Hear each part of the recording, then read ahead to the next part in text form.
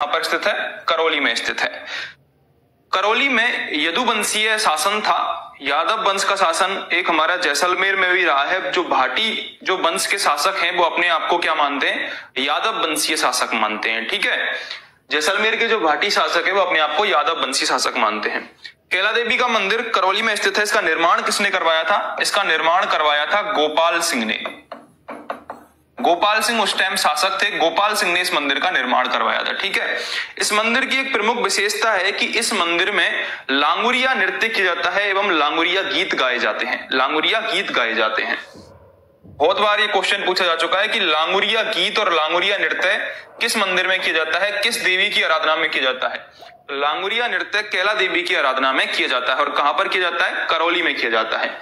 लांगुरिया हम कहते कैसे हैं? क्वेश्चन ये भी पूछा जा चुका है कि जो इन मंदिर के प्रांगण में हनुमान जी गणेश जी और भैरव जी की जो मूर्तियाँ हैं, उन्हें क्या कहते हैं? और जो श्रद्धालु हैं, उन्हें क्या कहते हैं? तो लांगुरिया किसे कहते हैं हम? जो इस मंदिर के प्रांगण में हनुमान जी भैरव जी और गणेश जी इन तीनों की प्रतिमाएँ हैं, इनको ही क्या कहा जाता है? इनको ही लांगुरिया कहा जाता है, ठीक है?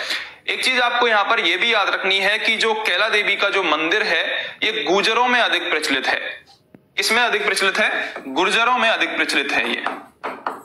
गुर्जरों में